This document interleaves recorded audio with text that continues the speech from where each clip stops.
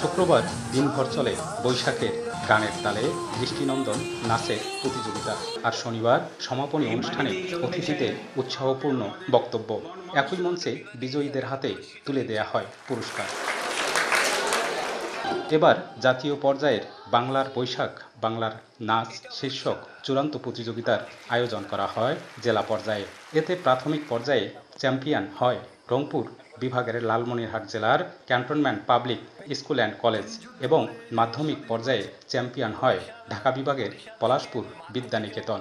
মঞ্চে এসে পুরস্কার পেতে পেতে পেরেছি। এই জন্য আমার অনেক কৃতজ্ঞতা হচ্ছে এবং শিশু একাডেমির এই বড় একটি কম্পিটিশন করতে ধন্যবাদ। অনুষ্ঠানটি খুবই প্রতিযোগিতামূলক হয়েছে এবং ওরা যারা যোগ্য তারাই ফার্স্ট সেকেন্ড থার্ড হয়েছে। ঢাকাতে আমাদের যাওয়া হয় কিন্তু কুড়িগ্রামে কিন্তু আমাদের যাওয়া হয় আসা হয় না। এখন এই উপলক্ষে কিন্তু আমাদের কুড়িগ্রাম আসা হয়েছে এবং কুড়িগ্রাম আমার কাছে খুব ভালো লেগেছে। আমি বরিশাল থেকে ঢাকা তারপর ঢাকা থেকে আবার কুড়িগ্রাম। অনেক বড় একটা জার্নি ছিল তবে তৃতীয় স্থান পেয়ে আমরা অনেক খুশি। প্রতিযোগিতায় বিজয়ীদের মাঝে পুরস্কার বিতরণী অনুষ্ঠানে অতিথি হিসেবে ছিলেন দেশের একুশে পদকপ্রাপ্ত নৃত্য শিল্পীরাও। জাতীয় পর্যায়ের অনুষ্ঠান জেলা শহরে করায় খুশি প্রতিযোগী এবং অতিথিরা। তাদের এই প্রাণবন্ত উপস্থিতি এবং তারা একেবারে পিঠ পতন নিরবতায় এই অনুষ্ঠানটি উপভোগ করছেন। এরপরে সাংস্কৃতিক অনুষ্ঠান আছে সেটুকু উপভোগ করবেন।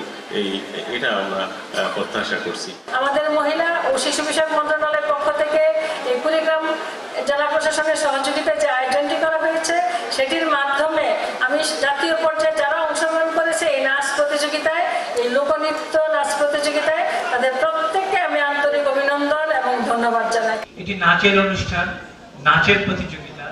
যে কারণে এই আয়োজনে আমাদের আমন্ত্রণে এসেছেন বাংলাদেশের দুজন আমাদের গুণী নৃত্যশিল্পী, শিবলি মোহাম্মদ এবং শামিমারা নিপা চলতি বছরের চব্বিশ এপ্রিল কুড়িগ্রামে শুরু হয় জাতীয় পর্যায়ে এ নৃত্য প্রতিযোগিতা।